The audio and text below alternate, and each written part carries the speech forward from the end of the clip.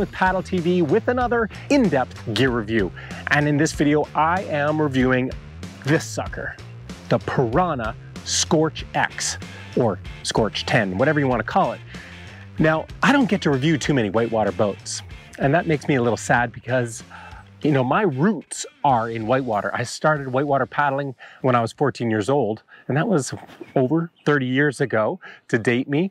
Uh, and, you know, for the first 10 years, that's all I did. All I cared about was whitewater paddling. And that's all I thought existed. Since then, my horizons have expanded greatly and I enjoy all types of paddling, but I still love whitewater. And so I'm really excited to get this boat on the water, give it a good whirl. So before I do though, let me tell you a bit more about the Pyranha Scorch X. The Pyranha Scorch X retails for 1800 US dollars. It's 10 feet long, it's 25 and a half inches wide, it weighs 54 pounds or 24 and a half kilos. It has a max capacity of 250 pounds or 115 kilos, and its primary use is river running. Its key features include full-size grab handles, a cut-off stern edge, tapered stern volume, stern kick rocker, and full-length rails. There's not a lot to talk about before I take this thing on the water and really give it a test, because that really will let me know how it performs. And that's probably what you're most interested in hearing about. What I can tell you just looking at it is it's typical Pyranha. And Pyranha boats are just solidly built. Everything is everything is solid. The, the the security handles, the grab handles, the the outfitting, everything looks and and feels really solid. So there's no concerns whatsoever there. Uh, the real question here is how does it perform on the water? I'm on the Ottawa River right now. It's pretty early in the season, so the water's quite high right now. Typically, the Ottawa River wouldn't be a great place to test the creaky uh, characteristics of this boat, but there are a few creek lines to be had at this water level. So I should be able to, to do some testing there. That being said, there's no big waterfalls here, so I won't be able to give it that full test, but there's a lot of great whitewater here and I will be able to get a great feel for what this boat is all about and let you know how it deals with big water as well as the, the rockier stuff. So I'm gonna get this boat on the water, hope that the rain holds off and give her a good old Ottawa River test.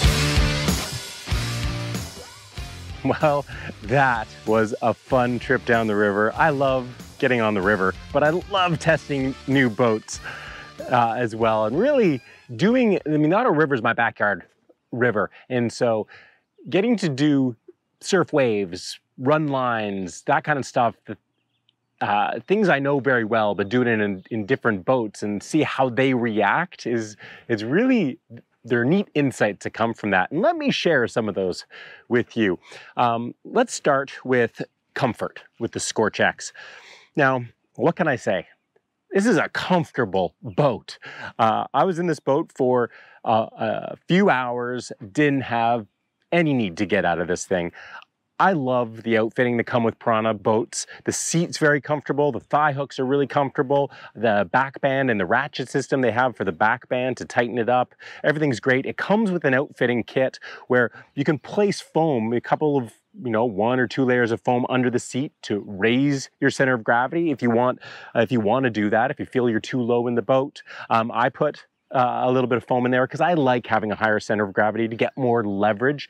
Um, you give up a little bit of stability for that, but in this boat, as I'll talk about, not a problem.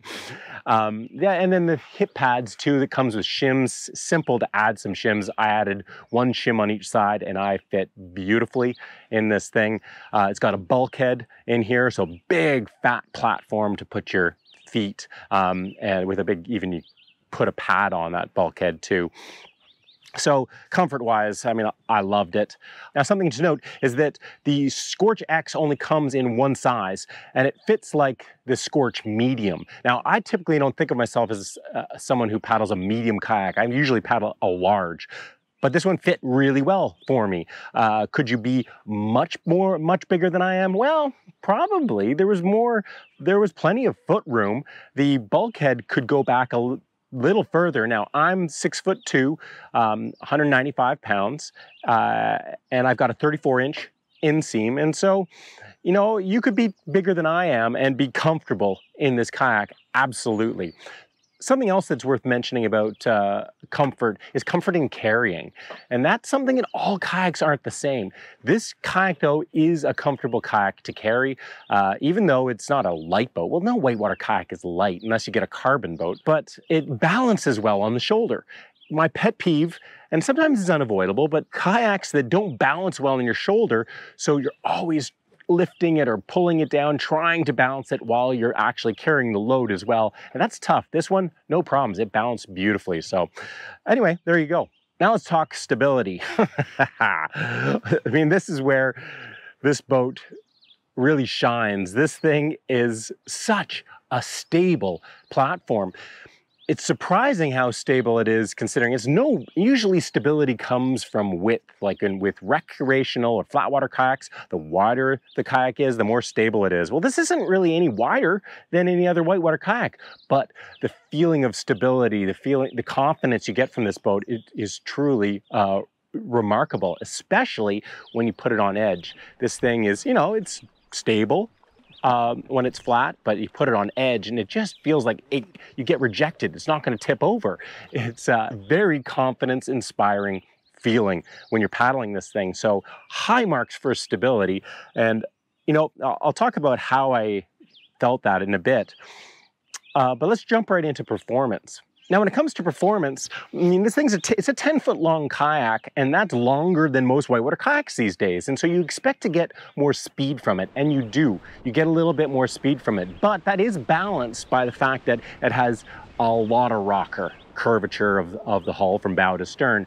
And that makes it, you lose a little bit of speed for the length of it because of that rocker, but you gain maneuverability and it has some real benefits when you're river running, which is what I'll talk about next. So for river running, because of all that rocker and because of the speed of this kayak, you can literally skip over things. You can skip over, get your nose up and over holes. You can get, you launch off off of waves.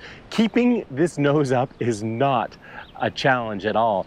I wish I had a, a waterfall here on the Ottawa to test this thing on um, because you know, that would be the ultimate test for how well the nose stays up. But that being said, I have no doubt that this thing is a boof machine. It just, the way it stayed on top of waves uh, and holes, it's going to boof really well. And the extra speed that you get from the extra length just means that you're gonna fly off drops that much better. So I can't wait to actually test this thing on a creek, but I didn't have that opportunity today. Now, the, the play boater in me, I love having a slicey stern. And that's why play, I mean, I'm a play boater. That's my background, but I still love creek boating. But anytime I hop into a, a boat with a big volume stern, um, yeah, I always, part of me is like, oh, I wish it was slicey so I could engage that stern a bit, use it to help me make moves. But that's not what this boat is about. You know, this stern is not something you can really sink. But this is the kind of boat and that you take paddling places you don't want it to sink. and so, uh, you know, that, that was a personal thing I had to overcome paddling a river like the Ottawa is, hey, this is not a slicey stern at all, but this boat was specifically designed not to have a slicey stern to be more forgiving. Now for creeking uh, or drops, you know, I'm on the Ottawa, so I didn't have a lot to, to test it on, but I did have one drop, Elevator. And Elevator is a, is a neat rocky drop. It was at a, a good level, but a level where you're feeling the rocks. And I did feel the rocks as I was coming over that thing. I actually got slowed down a bit, and then I went over the drop and didn't really have a chance to get a boof stroke, but it didn't matter. I had total confidence in this thing as I was going over. The bow is just got so much rocker. I went over and it just boom, boom, boom. You know, it just flowed through. I just had to basically help it a little on its journey and be ready to brace. But there were some even some rocks that kicked me uh, to the side on elevator. And what I once again was really surprised about was the stability. When it was on edge, boom, it kind of rejected, boom, you're not gonna flip, you stay upright. It was a small test, but a great test of this thing's creekability. Top marks there with what little testing I was able to do here. Now, playboating, you're not getting this boat to playboat, but hey, you're running a river. Of course, you're gonna wanna surf a wave when you pass a wave. So how does it surf? Well, it's not a fast surfer. It's got so much rocker, and so that doesn't make it a fast boat on a wave, but it also, it makes it able to catch a lot of waves. That being said, if the wave's breaking at all, because of the big volume stern, it's impossible to cut that stern under. And so once it starts getting taken, once you start carving off the wave, there's no real recovery in this boat. You're coming off that wave. It's not a high performance surf machine whatsoever, but it was fun. Now, in a hole, different story. Um, this is a boat that was designed to skip over holes, stay out of holes. you know, this was not a boat designed to be in a hole. And that was apparent immediately. When I started, when I was side surfing this thing, it was a, it was a rough ride. It was tough to move around. Uh, and the biggest reason for that is because of all the rocker in this boat, all the volume. When you're on edge, there's a lot of your boat that's touching the water. And so all this water coming downstream in a hole is hitting a huge part of your boat. It's, and it's catching the ends, the stern and the bow, and it's gonna be a bucking wild ride. It's not, it's not a playboat in a hole. So this is not a boat to really play in holes. This is a boat to skip over holes, avoid holes, and it does an incredible job of that. So who is this kayak for? Well, the Scorch X, I would say it really is for anyone from a beginner to an expert paddler. Anyone can hop in this boat and feel comfortable and confident. So it really is more a matter of what type of paddling is it for. And I would definitely say that this is a boat that's designed for for lower volume river running, creek boating. It's not a, a specialist in big volume, definitely not a play boat. Um, yeah, a low volume river runner and creek boat. But for any level of kayaker because you it's such a confidence inspiring and forgiving kayak. In terms of value, well, it's $1,800 US. I mean, that might be a hundred bucks more than some other whitewater kayaks, but I mean, all whitewater kayaks are in that range of 1600 to 1900, unless you get a carbon boat. And so value isn't even worth um, talking too much about, uh, especially when you know that all the outfitting they didn't skimp anywhere. This kayak is just solid. The, even the, the grab handles, the security handles, the outfitting, the uh, ratchet system, everything about this kayak screams quality. I even like the water bottle holder, and I don't say that very often. Pyranha makes a good water bottle holder in their whitewater kayaks, and not many other kayak companies do. Um, yeah, all in all, great boat, great value. You know, whether it's the right boat for you, Depends on the type of paddling you're doing and what you want from a whitewater kayak. I hope you guys have enjoyed this video. Now, this boat has been out for about a year. And so a lot of you have had a lot of time in this boat. And so I'd love to hear your comments, your feedback about this kayak. Leave a comment down below, share it with the community, and stay tuned for more paddling tips, gear reviews, and paddling adventures. Speaking of which, I'm going to go on a paddling adventure right now. It's early. I'm going to do another lap of the Ottawa.